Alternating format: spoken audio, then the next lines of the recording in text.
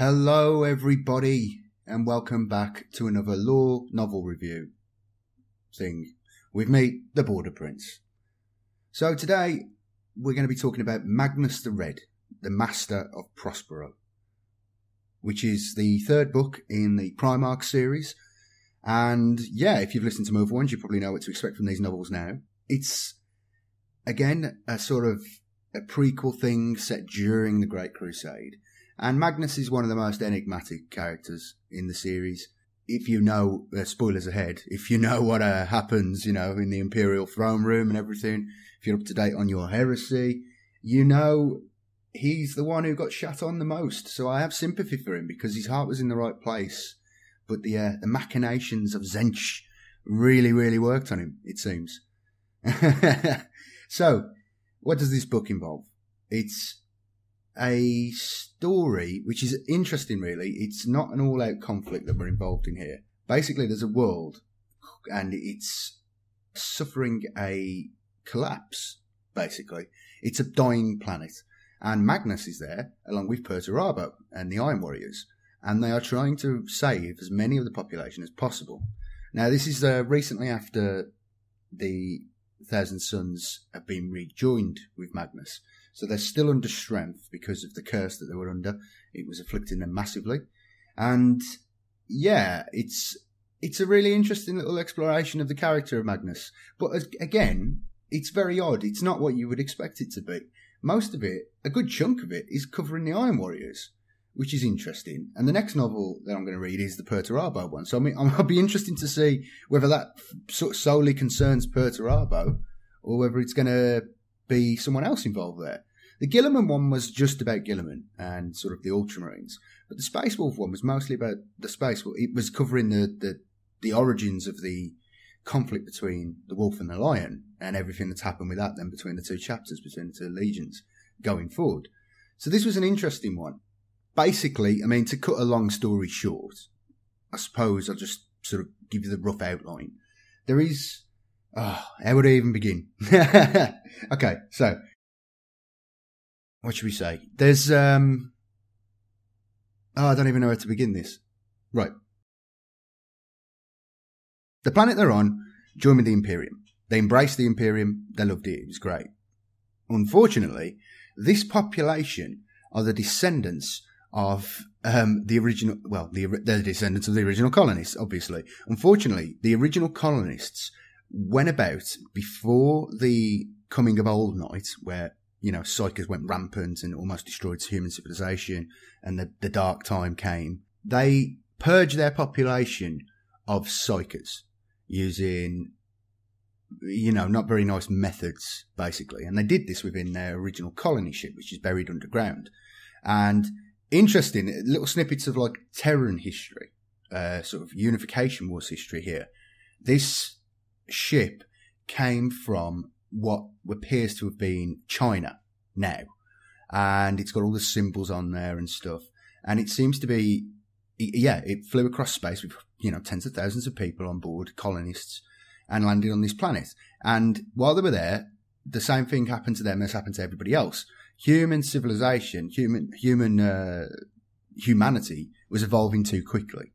And unlike other worlds, which didn't do anything or, or embrace these new psykers that were coming up through the, the population or didn't do anything about them before it was too late. These guys did. They, they purged their population. They cut them, they cut the psycho powers out of them, whether that killed them or whether it seems to have kept them in sort of stasis tubes or something like that. That's, that's how it appears to be. But basically that this, all this psycho energy, all these souls of these psykers stuck around and sort of form this gast, uh, sort of a gestalt intelligence fuse them all together and they're they feel anger, they feel resentment, they want to inflict pain on others, but they were sealed away under this in this in this colony ship, and the ship was warded, and it was left forgotten. But this left a mark on the colonists who had done this to their fellow men, women, and children, uh, their fellow citizens, their fellow colonists. And these, like I said, men, women, and children, it was men, women, men, men, women, and children. They did this to them all. And it was pretty brutal, you know, scalpels and bloody chaining people to, tables and yeah, it's grim as fuck. It's grim as fuck. And basically, yeah, it left uh, the power of, the, of this entity that came into being affected those ones, the, the, the non-psyker people who fled the ship. And it created within them a sort of a, a religious sensibility and a, it prophesied the end times for their planet.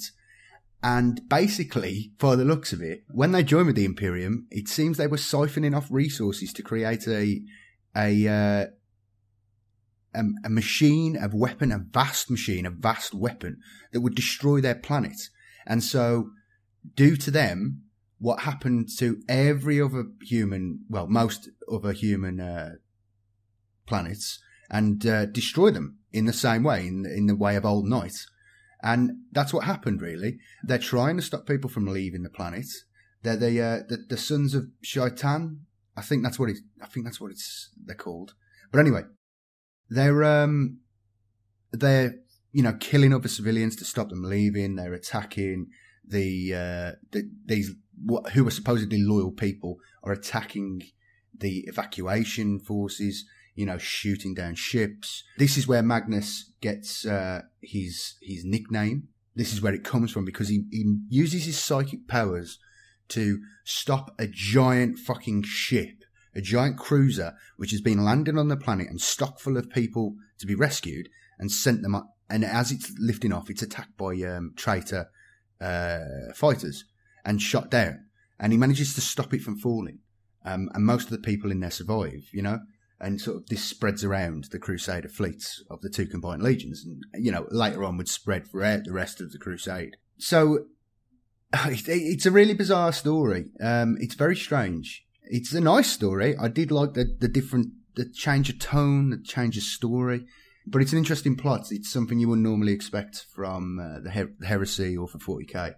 Uh, yeah, they're on a mission of mercy, and yet all this creepy shit happens, and. Uh, yeah, we see some awesome bits with, you know, Magnus, uh, for instance, he just, very much like Magneto, he pulls a tank apart. and then, uh, crushes the driver's neck when it's attacking them. Um, we get some nice bits with Ahriman having some, uh, some visions of the future when he's doing stuff, uh, which sort of hint at the future conflict to come, the heresy and afterwards. Uh, we get some nice bits with Perturabo and his boys. Ferrex, Ferrex, I think it's Ferrex, who's a character that will go on. Uh, yeah, it's it's a good little book. I, I was really entertained by it. It's um it's really interesting, and it's got snippets of all little tiny different bits from all over the universe are contained in this story, and I really enjoyed it. I would definitely recommend it. it it's probably the Wolf and the Lion one, the Leman Russ one, is a much more entertaining story. I think but the Guilliman one is a bit dull, if I'm completely honest, in comparison. Um, I would say out of the three I've read now, the Wolf and the Lion one is first. This Magnus Red one is second, and the, Guilliman one is third. So we'll see how the Perturabo one goes, and then we'll get on to the Lorgar one afterwards. But yeah, these are shaping up to be a nice little series. Um, I'm really interested to see what it looks like once you know we've got to the end of it. I mean, we're going to have 18 or maybe 20 if we're lucky. but um, yeah, it's it's a good read. I'm just trying to think if there's anything else awesome that I could just mention. Oh, yeah. So the way he defeats this entity is he captures it and puts it into the book of Magnus. And how the story's structured, it starts off with it's just after, at least from Magnus's point of view, the fall of Prospero. And he's on the planet of sorcerers he kind of releases this entity back out because I guess he's bored or he doesn't know what to do. And this entity's been trapped in the grimoire, um, sort of living in existence, to be honest, living the tales that are written in this book somehow. I don't know. But he's on the planet of sorcerers, sort of reflecting on things, you know, and they have a little, they have a couple of little discussions, little chats. Um, I really liked it. It reminded me, to be honest, it reminded me a lot of, oh God, what's the point? What's, what's the film called?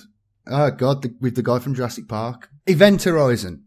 It, it's it had that feel of Event Horizon, and I think it's a pretty similar story, really, in terms of sort of demonic uh, psychic entity, uh, which is nice. You know, it, it, really it really tickled the old sci-fi uh, the old sci-fi jangles, you know?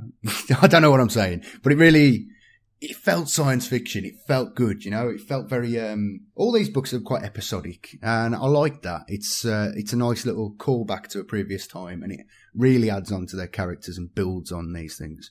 So yeah, if you've listened to it, let me know what you think. If there's anything important you think I've missed here, I've only just sort of covered this briefly. It was a good read and it was an enjoyable read. And um, again, I listened to the audiobook version and you can get an Audible subscription if you follow the links below. Hint, hints. Or if you want to pick up the hard copy, there's an Amazon link. But yeah, let me know what you think because I thought that was good and I'll definitely after the Guilliman one, I was a bit ropey about it. The Space Wolf one brought me back to it. This Magnus one was really interesting, so I'm hoping the Perturabo one is just as good. So, yeah. Thanks for listening, and I'll see you next time. Cheers.